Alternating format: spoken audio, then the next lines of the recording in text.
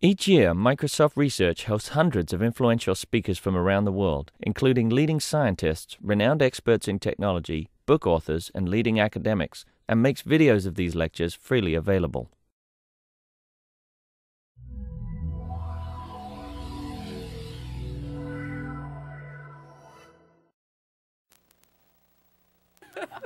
Stand up. Hi, um, I'm Liz Lawley from the Community Technologies Group, and I am delighted to introduce Eloise Oyzon, who's a professor in the Information Technology Department at RIT, and focusing on human-computer interaction and uh, and related topics in terms of animation and multimedia development. And she is going to be talking today about the intersection between HCI and the fine arts, and has titled the talk, I believe, "The Art of cognition mm-hmm. for those of you who aren't able to make out the text on that slide. Uh, and I'm going to turn it over to her for the presentation. Thank you, Liz. Hi. This is an intimate group, and I'm okay with that. Um, my background is, is interesting in that RIT hired me in the Information Technology Department I think they've discovered at this point that I do not hold a CS degree. I have a Master in Fine Arts. For a long time, I thought they'd discover this and go, she doesn't really belong here, and then boot her. We'll find out. I'm up for tenure. but um, so I got hired by the department. I'm teaching multimedia classes, and they said, you know, you could teach HCI classes too. So at this point, I started my education coming in the back door. And I found out about Fitts Law. Fitts law for me is an expletive because basically what it says is the bigger something is, the faster you're going to get it. And my first response was, yeah, right, this is very true. You know what? We've known this for a while. Actually, we've been doing this for a long time. 1350 BC, this is a long time ago, we knew bigger was better. Bigger is not better in this case. Bigger is more important. All human beings are not to scale. Kings are bigger. Minions are small. That is by definition. Later on, we found out that holier people were bigger than everybody else. So this is the Middle Ages. Bigger is better, not that big a deal after a while, we figured out, you know, maybe it's not a function of space. It's not divine right. Um, it turns out small people end up being kings and queens. There's an underlying structure. We have cognition. We say, this is the way the word, world works. There's a hierarchy. And size eventually was said, we understood that size could be a function of distance. And the underlying structure would say, in the Renaissance, actually before then, in Grecian times before it got codified, got lost in the Middle Ages, came back to say, in this underlying structure, we can make it so things that are small are in the back. Larger things are closer. Things that are bigger tend to be more important, like the bus that's about to hit you. This is important to know. And these structures end up becoming an architecture, a way we can sort of pin things into the world. That makes sense. Now they, we can use them later on in other kind of structures. For example, interfaces that don't necessarily have to align in straight up and down grids. We can use them in other fashions. And even if we remove the underlying lines, we can still sense the structure because we need to know that there's order in the world, because otherwise we get pissed. That's our nature. So there are other ways of underlying structure. We went one point perspective, we got two point perspective. We got three point perspective, which is just like a, an acid trip, so we don't do that too often. But in the fine arts, we still have it. The most important thing we want is the biggest thing. And we order your gaze to say, let's look at this thing, then this thing, and then this thing in order. I would make my students um, take a look at interfaces. I'd say, close your eyes. Hell, I can say that right now. Close your eyes. And then when you open them, I want you to be aware of what you look at first, second, and third. Go. Do you find yourself going in a sort of loop? That's good, because ultimately you want people to go look at your stuff and stay there. And the artist is manipulating you with every trick they have in the book to make you do that. 2004, a painting. Still the same deal. So, Fitts Law. Bigger is better. This is the target. This is what we want you to look at. And size matters. I know it's small text, don't, don't read it. Size matters because, aside from being female, we want you to look at something. And that thing is going to be forefront. That's just one way to do it. There are other ways. The fine artist has a problem. And the problem they're trying to solve is I have data, I have information, I have a story to tell. And I need to guide you into it. I need to manipulate your eyes because I want to evoke a response from you. I want to push and pull you a certain place. Yes? Attention or eyes. Excuse me? You want to manipulate attention, or you're using eyes as synonymous with attention. I'm manipulating their eyes with a particular intention in mind. Yes? Right, but you really are after attention. Oh, not- attention. Yeah. Yes. I want their attention. This is Jasper Johns' Target, 1955. So we have hierarchy. We have a hierarchy of power. We hi- have a hierarchy of religion. We have a hierarchy of the visual. So, Fitts Law. Someone studied this. And they said, okay, we can take a look at this stuff and codify it. And then it seems like it's this new thing, but it's not.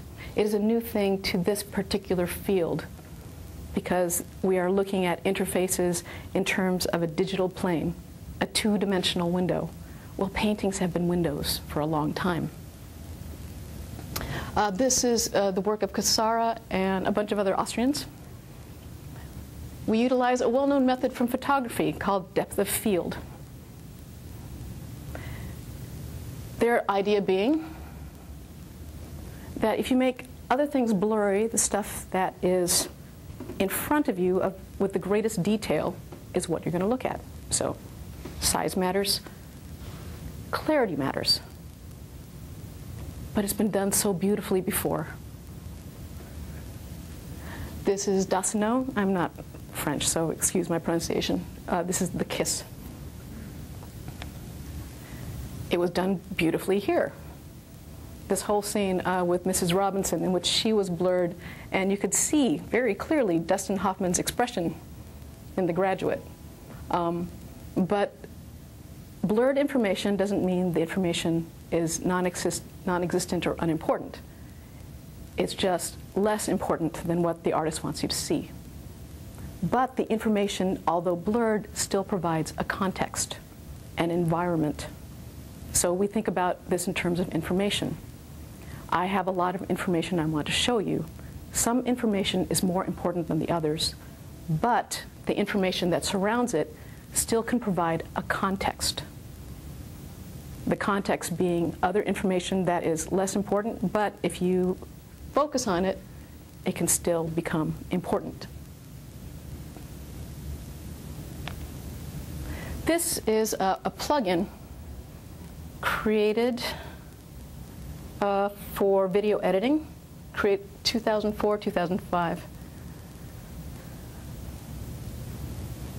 And that was rather nice because it illustrated that you can shift focus. Has this been applied to data so far? No. I think that could be cool if it did. So could we say um, data points that are less reliable are fuzzy? Could we think about it in those terms? So we just think about other applications that this can hit because we want to make sense of the world. And we do it a variety of ways.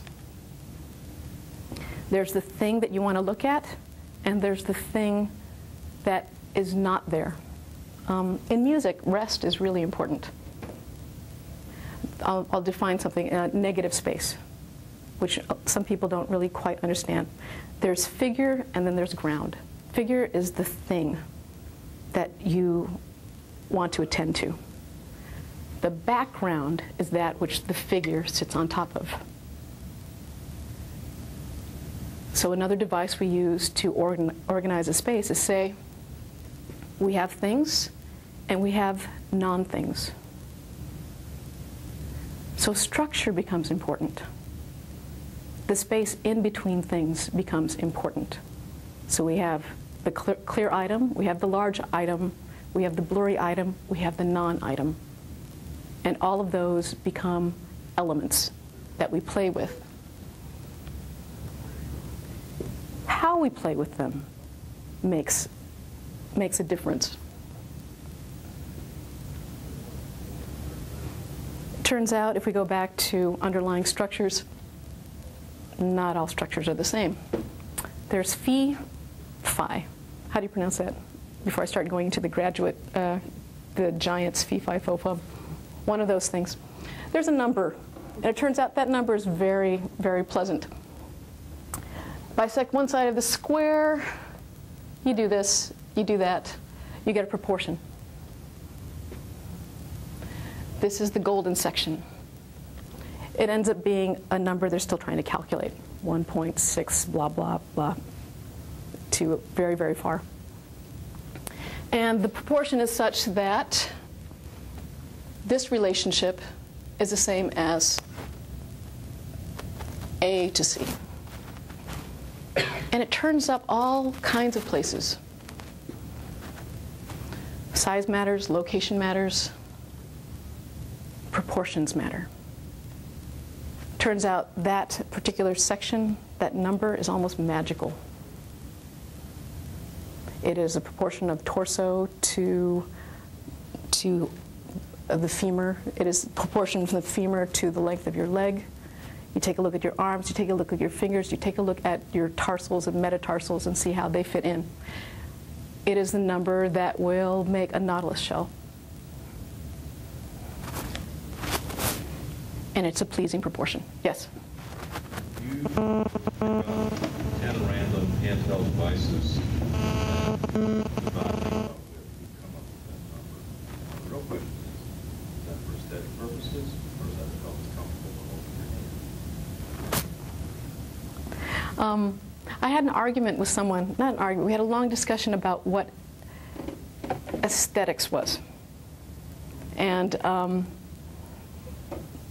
usually when we talk about an aesthetic critique, you know, whether we talk about music or movies, any sort of experience, it's usually here is a particular aspect, sensory aspect of the thing, in this case, uh, touch.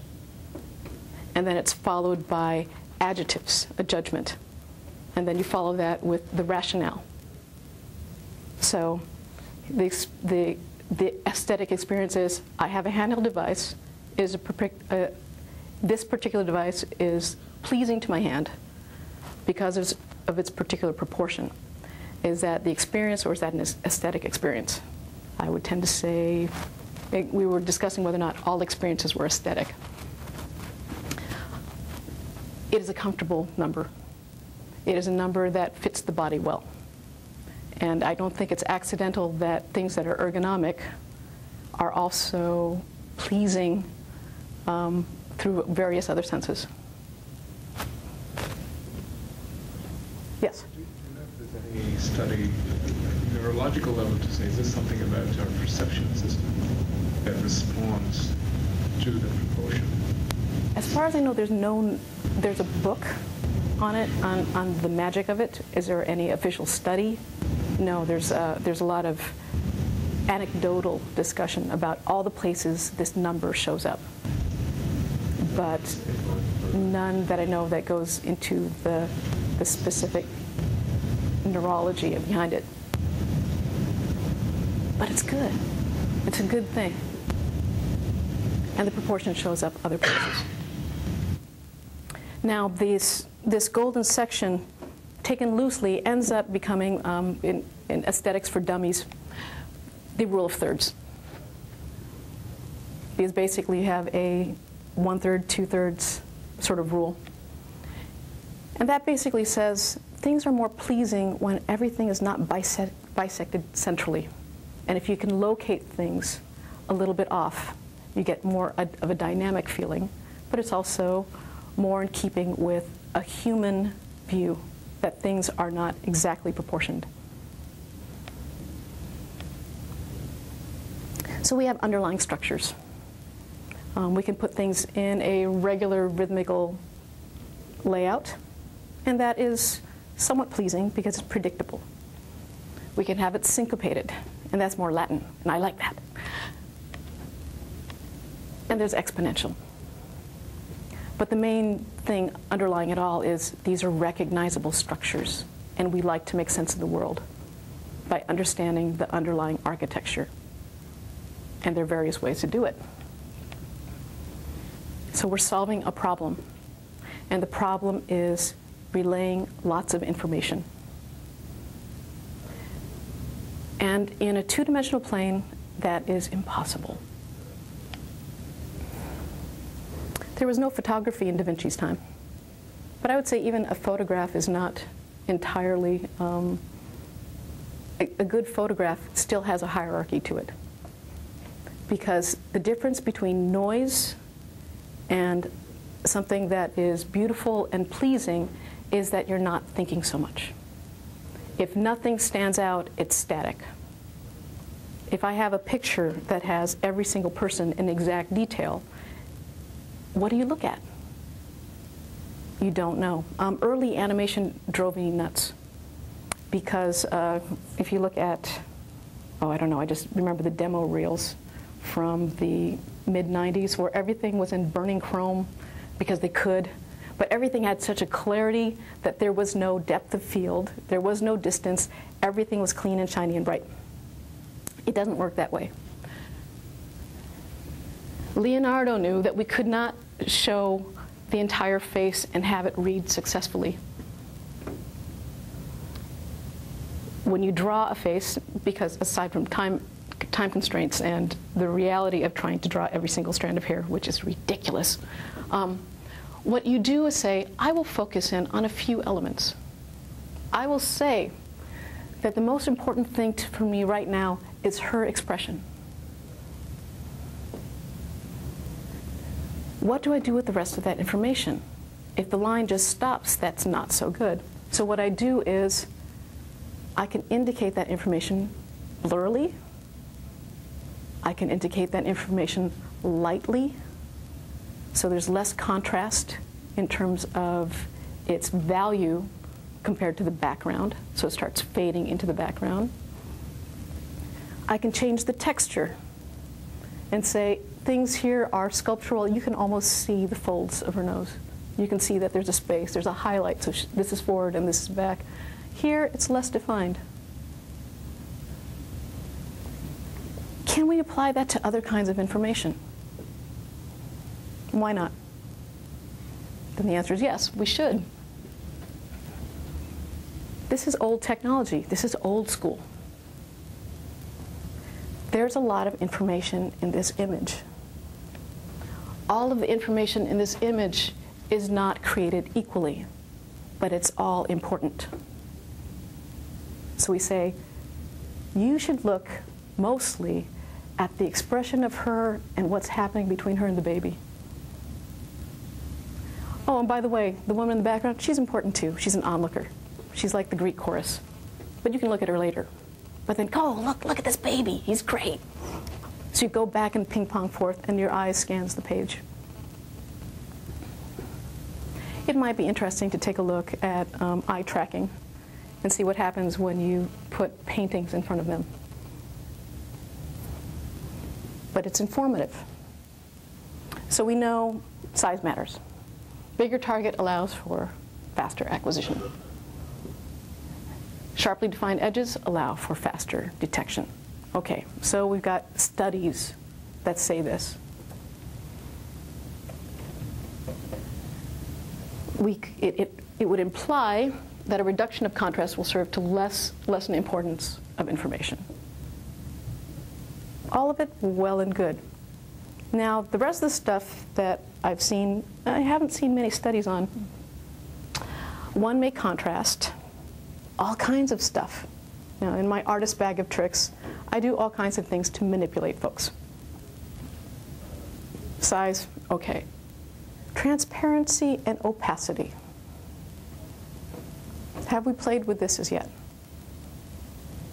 Mm, didn't find any studies specifically on it, but um, I did find that in terms of wireframes and trying to relay information, what do you do when information in a three dimensional world is obstructing another?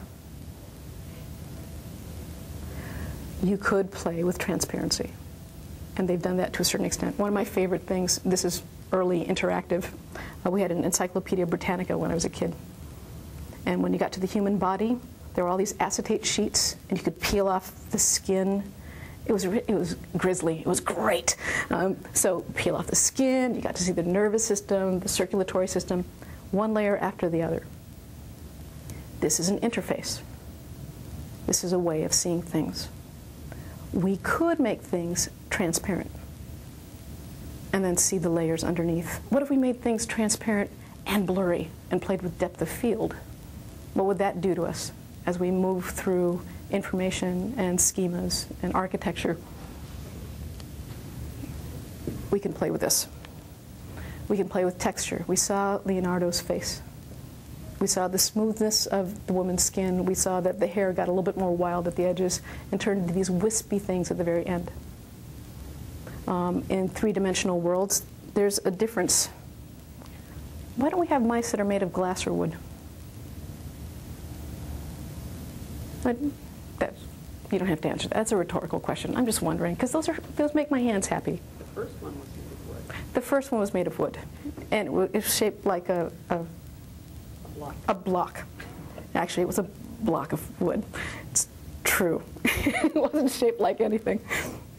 It was a block of wood with wheels, but um, I'm still waiting. We can play with amount of detail. I did find some studies on this, and that is in terms of zoom. When we took, take a look at maps and you go in farther or go out, the amount of detail changes. And this is good because we can't deal with all the detail at once. And then we have this other stuff. And this is huge.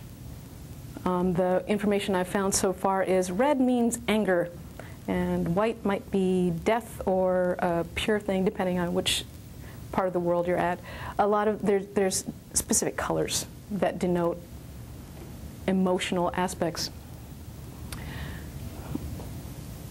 But it's it's very complex. And Josef Albers and Mark Rothko, uh, they were color field painters in the 50s, 60s. They did a lot of stuff, and all they did was color. That's all they did, just blocks of color. Albers was uh, more anal retentive. His color was stored in very specific blocks. Rothko would just do these beau- beautiful things, and I, I still go to museums and just sit there a long time, and they make me happy.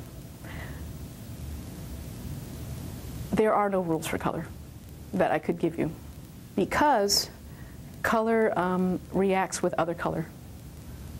Now, this would be the area that I would want to study if I was to try to make some sort of Wheeze law. Uh, uh, Eloise, my nickname is Wheeze. And I don't think anyone could use Wheeze as an expletive as easily as I do Fitts. So, um, but if we take a look at this, it's interesting because what is foreground and background shifts.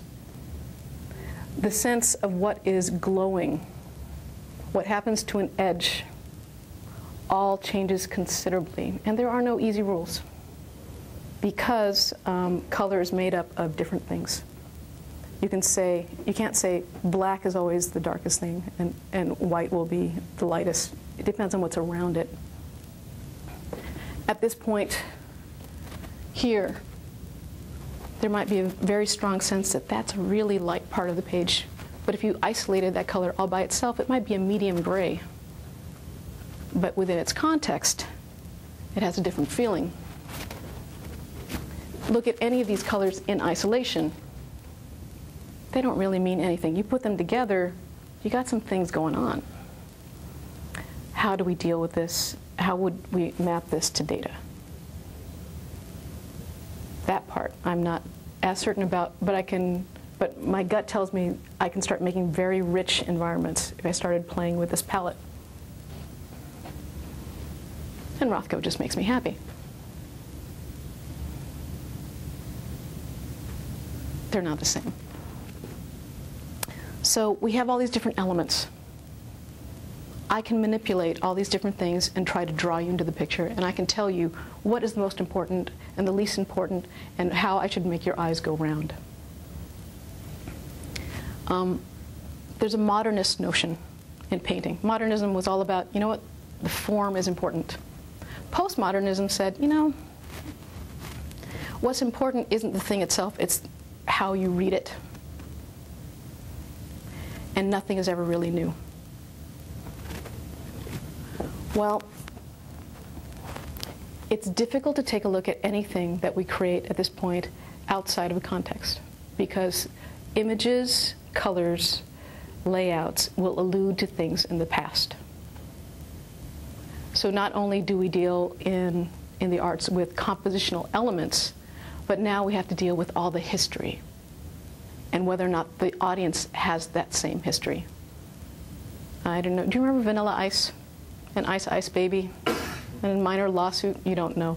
Uh, there was a, I, I, can say you don't know because he's shaking his head no, I'm not making any assumptions. Um, there was a song by Queen, and it started with dum dum dum dum dum dum.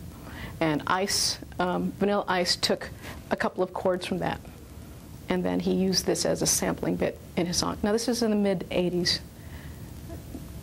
We're right in the middle of postmodernism. Instead of stealing, this was called appropriation, when you take somebody else's work and riff off of it.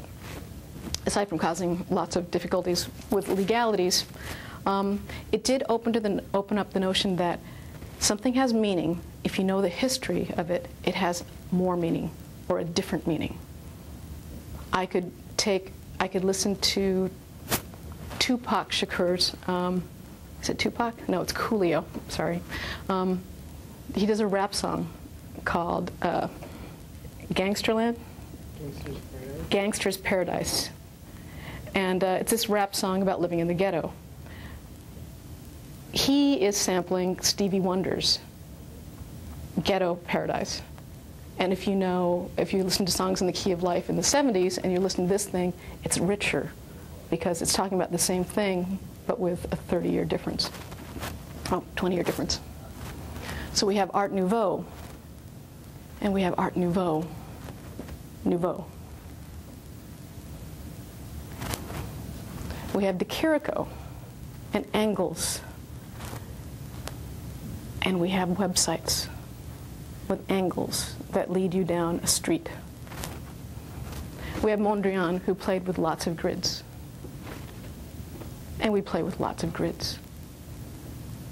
And we're not reinventing things, but if we have a sense of the history, that gives you a little bit more of a flavor of where we came from, aside from manipulating the user. We have Lichtenstein, who messed with cartoons and made these paintings that are about, that's about the right size. And we have websites that still play with that. Rauschenberg and more. And Rauschenberg took little samplings of, little, of everything and mashed them all together.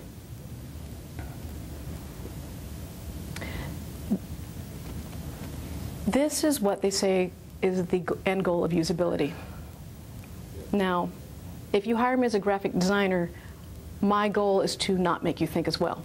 Same thing. Role of a graphic designer, of someone creating user interfaces. The goal of an artist is a little bit different. Now, I would say sometimes the role of the artist and the role of the game developer might be more in alignment because the idea is to suck you in and keep you there and keep you going. But as I would say, fine arts is to graphic design um, the research and development portion of the art world. And it feeds into it.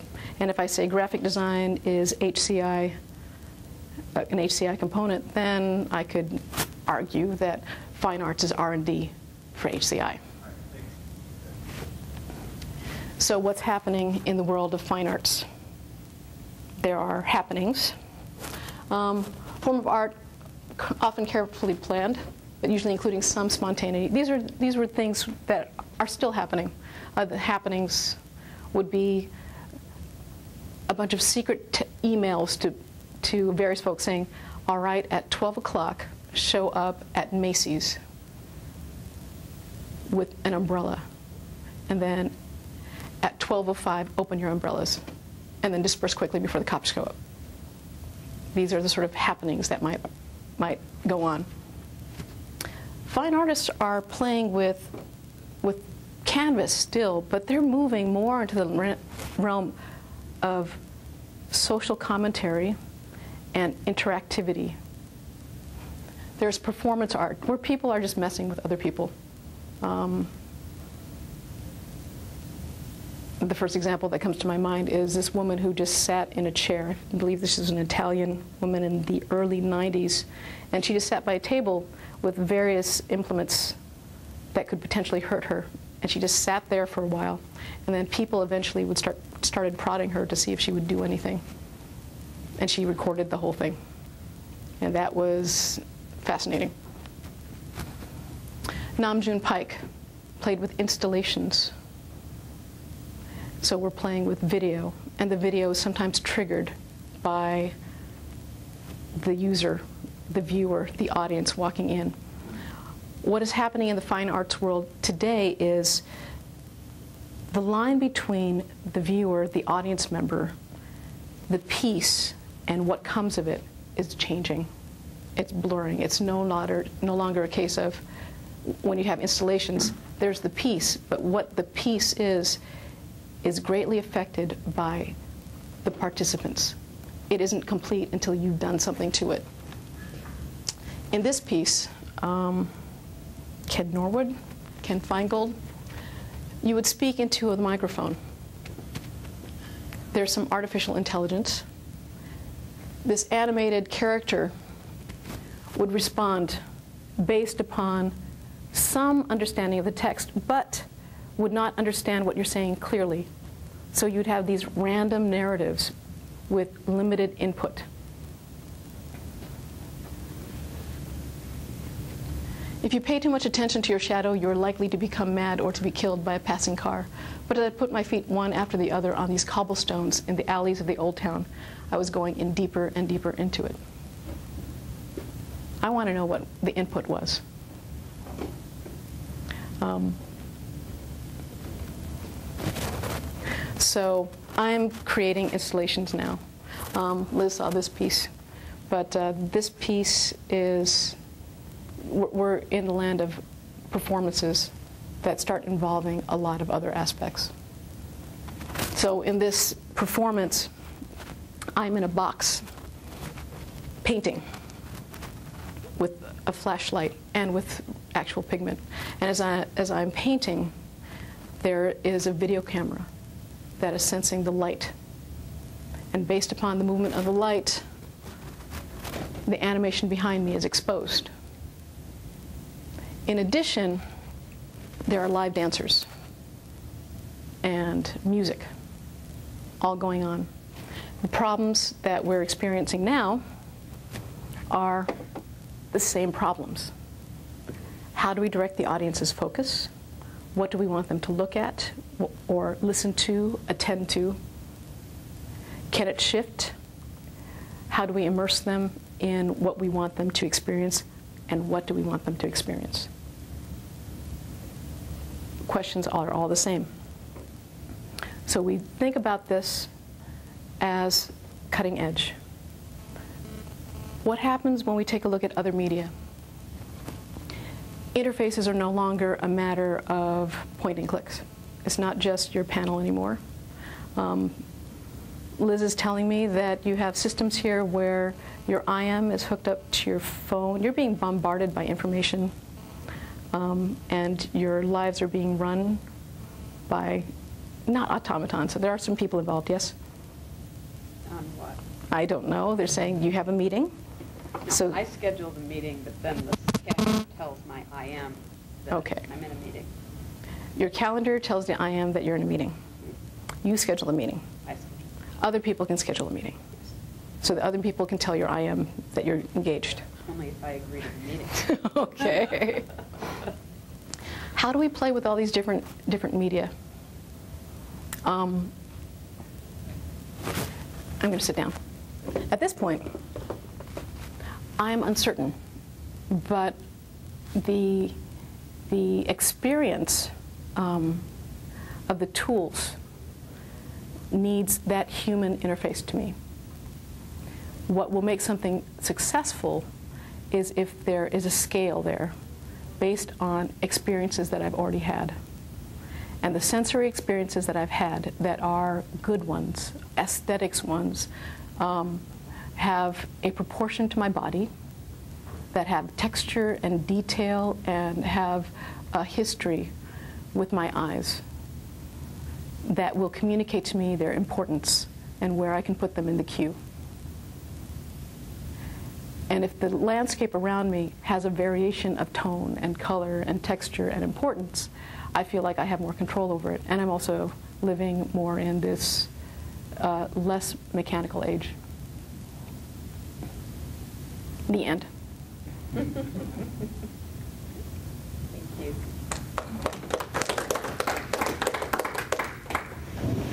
Any questions?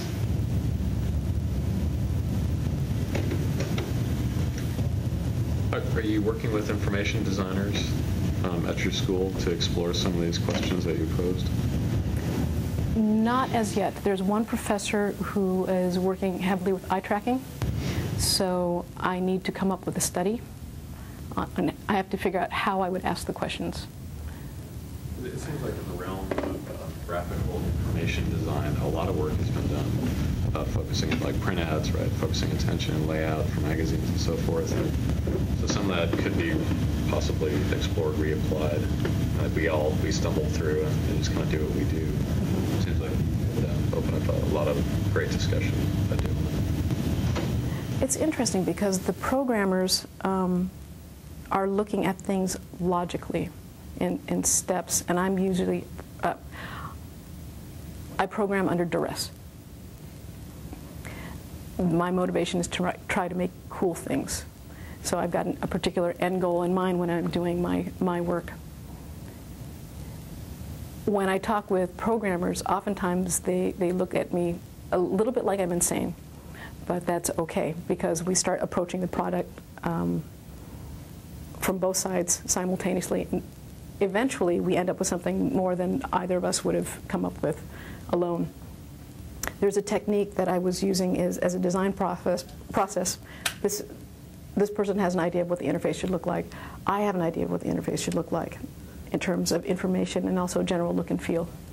And we would hit it with uh, this person is motivated by the constraints of what is possible and tends, tend to think in rectangular boxes because those are easy to do. So we would work on a sheet of paper and at 30 second intervals switch the paper, just switch sides. And then I would riff on what he had done and he would riff on what I had done and he would try to make mine more practical. And I would try to loosen his up and we kept going back and forth. And by the end of the process, we had something that neither of us would have come up with by ourselves, but that was still buildable. So that was an interesting um, design process. I think that kind of discussion would be very important. Yes. I, I didn't see any impressionist examples. the reason I bring it up is because even though you don't see it in photographs, if you see the actual work on a large scale, what draws your attention is level of detail. Yes.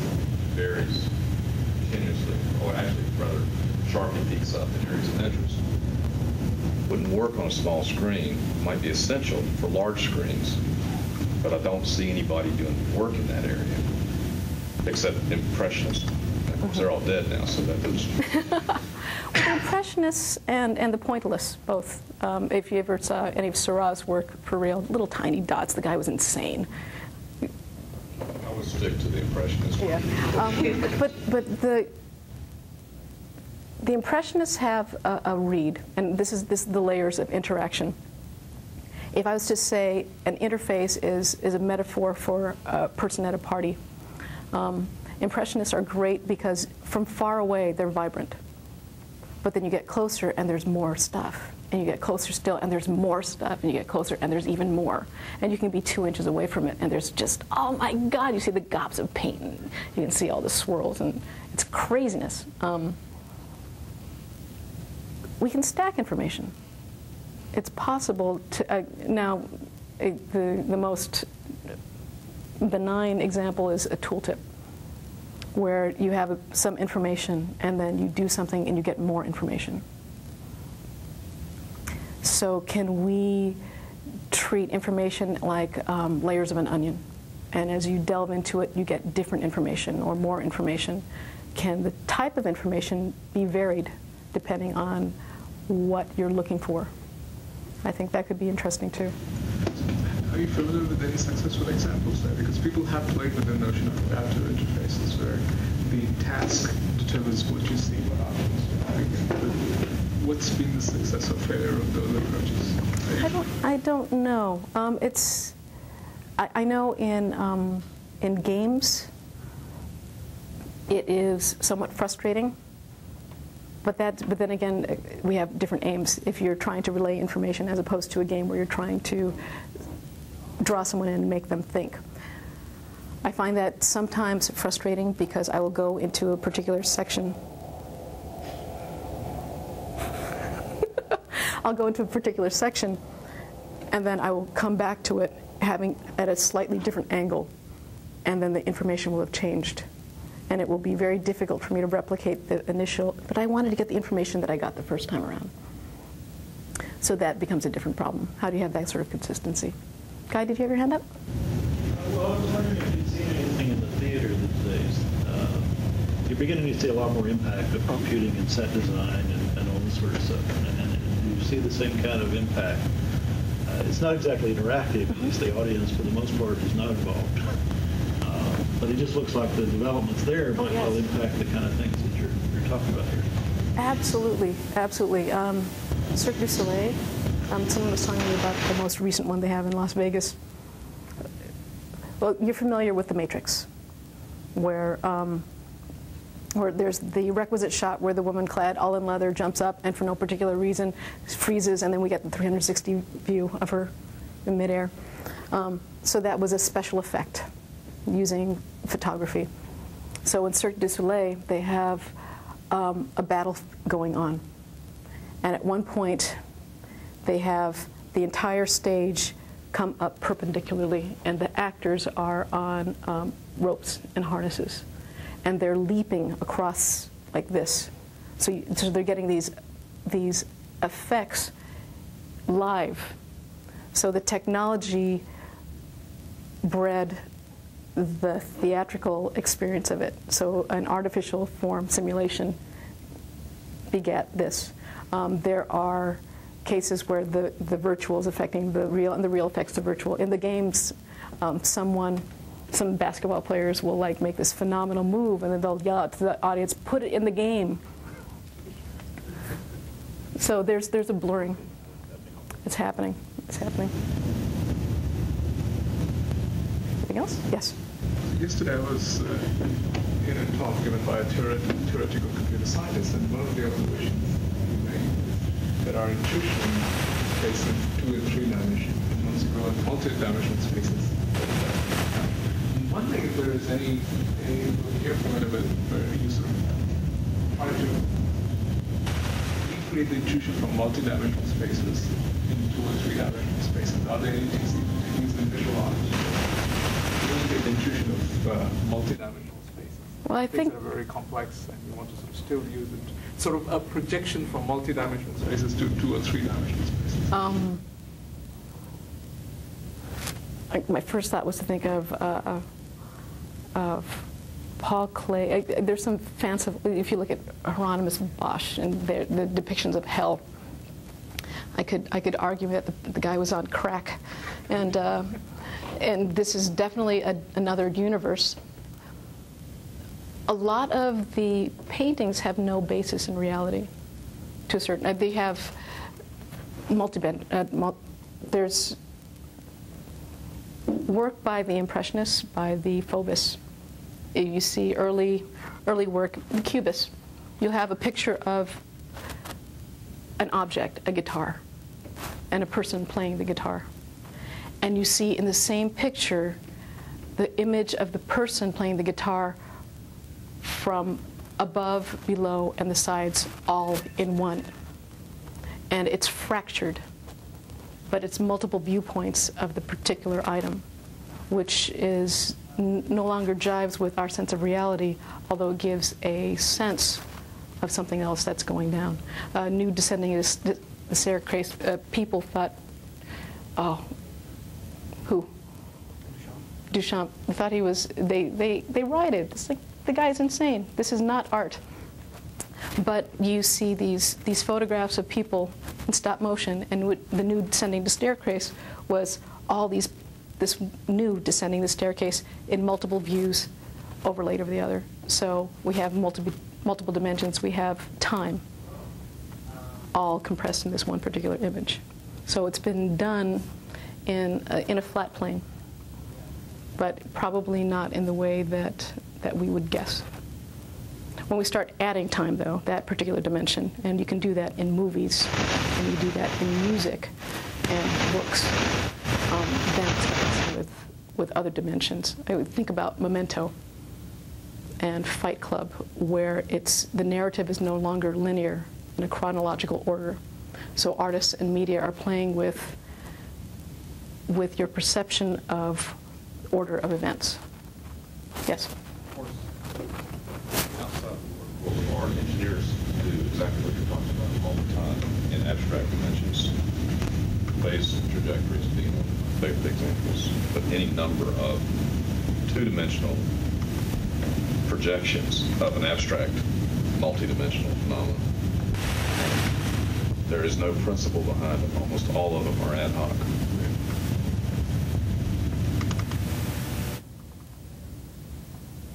Other questions?